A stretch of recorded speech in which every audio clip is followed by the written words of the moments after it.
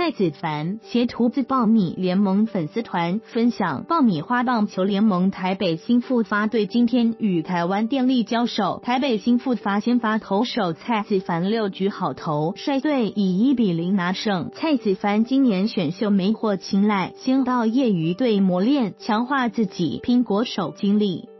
爆米花棒球联盟十一月初开打，目前约打完一半赛程。今天台北新复发与台湾电力交手，两队先发投手表现都不错。台北新复发先发投手蔡子凡投六局被敲九支安打，投出三次三振无失分。台湾电力先发投手李子阳投七二局被敲八支安打无失分。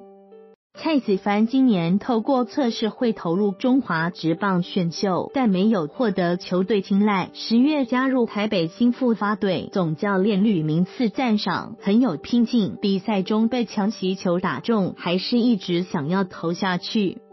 蔡子凡表示，被打到当下很痛，但想要多吃一点橘树，减少后半段牛棚负担，但身体状况已经不允许。加上今天出赛，蔡子凡在爆米花目前为止已经先发出赛五场。他表示，前一段时间因于取消比赛，得到较充分的休息，今天状况不错。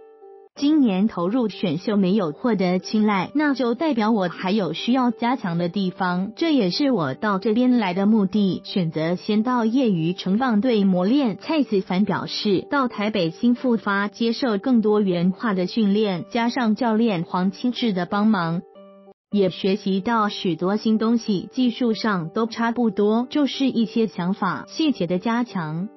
蔡子凡没有国手资历，此次爆米花比赛目的之一，也是为了寻找明年雅加达亚运中华城棒队可用之兵。蔡子凡表示，希望可以好好表现，看能不能拼进中华队。